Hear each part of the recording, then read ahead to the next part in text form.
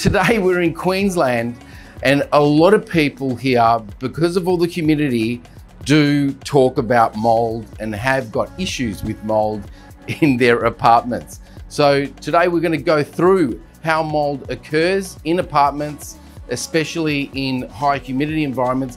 And mold isn't always about how airtight an apartment is.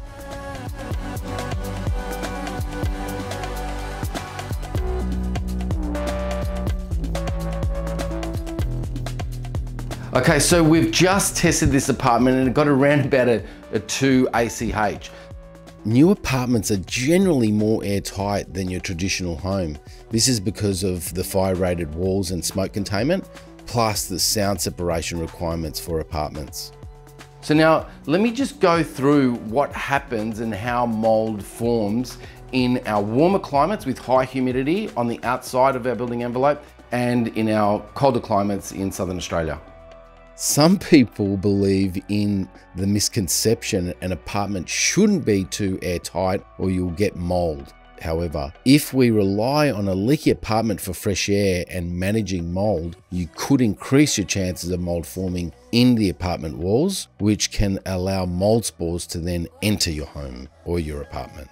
In humid areas of Australia, an airtight dwelling is actually helping you to control mold because it contains the air for you to dehumidify. If it's too leaky, you can't dry out the air.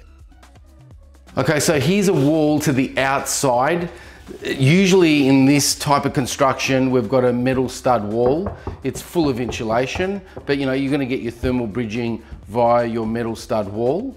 Now, when we're air conditioning this apartment, we're gonna get a cold environment out here with hopefully around 50 to 60% humidity. On the outside, we're gonna have a much hotter temperature and potentially a much higher humidity. Now, warmer air can hold more moisture in it. So once that air cools, it's trying to find somewhere to dump that moisture. So if any air from outside can get inside this wall, it'll get in contact with the cold surface area of plaster on the inside of the wall start to condense and then you'll start getting mold growing inside the wall on the back side of this plaster. In many cases, active dehumidification is really a smart idea, especially to prevent mold in hot and humid environments. And then in our more southern areas of Australia where we can get much colder temperatures, on the outside, you're more than likely gonna get humidity or moisture on the inside of our homes from cooking, breathing, showering of humans, and we'll end up getting condensation forming on either structural elements in our homes, aluminium non-thermally broken windows, or even metal steel studs within our walls or poorly insulated walls. In our colder climates, when heating, avoiding massive temperature swings that hit dew point when the indoor temperature drops down too far makes all the difference in managing mold on thermal bridging surfaces within our construction. What we've got to look out for is making sure that air can't get in contact with colder surfaces where that warmer air might have a higher humidity and cool down too far where it'll hit dew point. When it comes to our walls, we want them to protect us from what temperatures and humidity we've got on the outside. And then we want our windows that are operable, that are there for the NCC and our building code to do the ventilation when we need it. Now, when it comes to mitigating the risk of getting mold in our homes, let's go into a bathroom. Okay, so we're in a bathroom. Usually mold forms in our bathrooms in all climates because this is where a lot of humidity is occurring from showering with warm, hot water.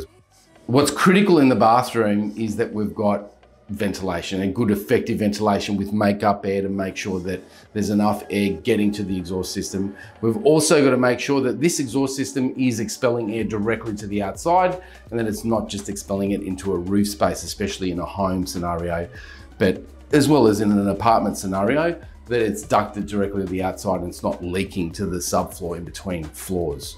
So the other thing that can help drastically in our apartments is low flow ventilation 24 by 7 and then using a boost mode that'll run for around about 15 minutes after a shower or after you've chosen that you want to activate a more higher airflow uh, for what you're doing in your bathroom.